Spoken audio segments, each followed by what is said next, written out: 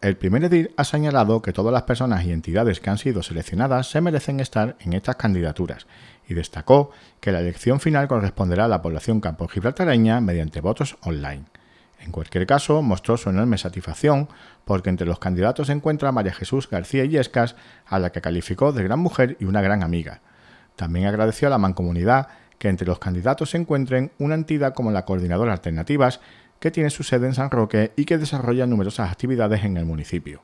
En cuanto a la candidatura para el proyecto impulsado por Puerto Soto Grande y denominado Red de Cruceros Costeros y Fluviales de los Destinos Náuticos Sostenibles de España, señaló Rick Boyce que es una muestra más de la apuesta de esta empresa por la excelencia turística.